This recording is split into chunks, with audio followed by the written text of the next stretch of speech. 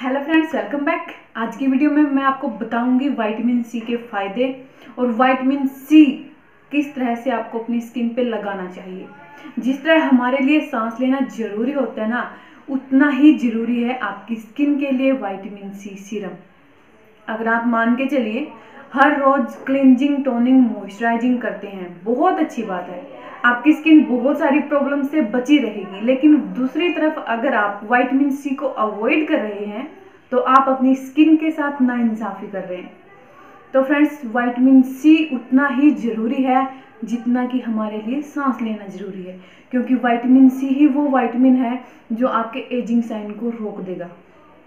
बिल्कुल नहीं रोकेगा। देखिए एज एक नेचुरल चीज़ है, वो आएगी ही आएगी। एजिंग साइन आपकी स्किन पे आएँगे ही आएँगे, लेकिन वाइटमिन सी एक ऐसा वाइटमिन है जो आपके एज साइन आएँगे, उनको थोड़ा लेट कर देगा। वो थोड़ा बाद में आएँगे, लेकिन आएँगे तो आएँगे ना। तो फ्रेंड्स आपको वाइटामिन सी सीरम लगाना चाहिए। मैं भी हर रोज़ दो टाइम वाइटामिन सी सीरम अपनी स्किन पे लगाती हूँ, सुबह और शाम को। आप सुबह अवॉइड कर सकते हैं, लेकिन रात को सोने से पहले आप बिल्कुल याद से वाइटामिन सी सीरम आप अपने फेस पे लगाएँ। तो मैं यहाँ पे ये वाला वाइटामिन सी सीरम यूज़ करती हूँ। आप कोई भी वाइटामिन सी सीरम यूज़ कर सकते हैं, जो भी आपके बजट में है। मैंने एक वीडियो अपलोड की है। अगर आपको घर पे वाइटामिन सी सीरम बनाना है, आपको कैसे बनाएँ और कैसे लगाएँ, आप दूसरे चैनल पर जाके देख सकते हैं। अगर आपका बजट है और आप बहुत ज़्यादा बीजी पर्सन हैं तो आप मार्केट वाला कोई भी वाइटामिन सी सीरम लगा सकते हैं। मेरे पास है ये एस टी बोटानी का वाइटामिन सी सीरम मैं इसको ही लगाती हूँ।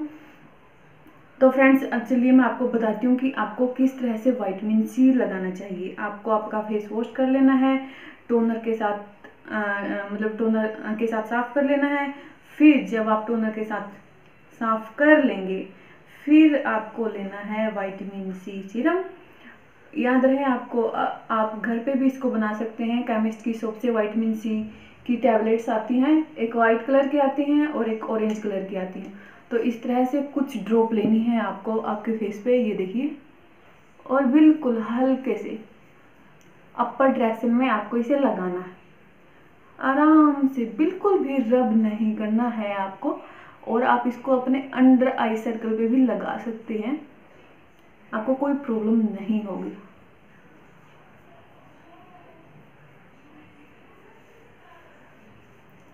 हल्की सी मसाज करनी है आपको, और हाँ इसके साथ साथ आप गर्दन पे भी लगाना मत भूलिएगा। तो इस तरह से आप लगाएँ दस मिनट के लिए आप इसको थोड़ा सा ऐसे ही छोड़ दें, ठीक है?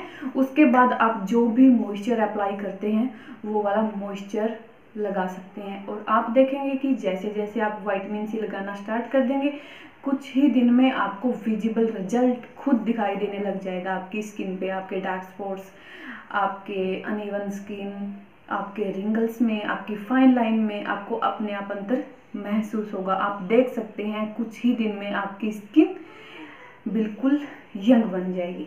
तो फ्रेंड्स वाइटामिन सी अगर आप अवॉइड कर रहे हैं तो अवॉइड मत करिएगा। आप वाइटामिन सी को सी टी एम में ही मतलब कि उसी के अंदर ही जोड़ दें।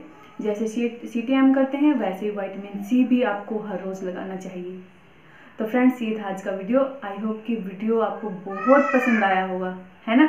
अगर पसंद आया है तो आप मुझे कमेंट करके ज़रूर बताइएगा।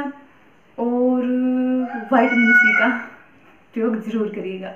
तब तक रोज़ सारा पानी पिए, खुश रहें और आप देख सकते हैं, मेरे फेस पे हल्की सी साइन आ गई है इसको लगाते ही। ये देखिए। हाँ तब तक रहा बहुत सारा पानी पिए, खुश रहें, खुश रखें। मिलते हैं हम अपनी नेक्स्ट वीडियो में। बाय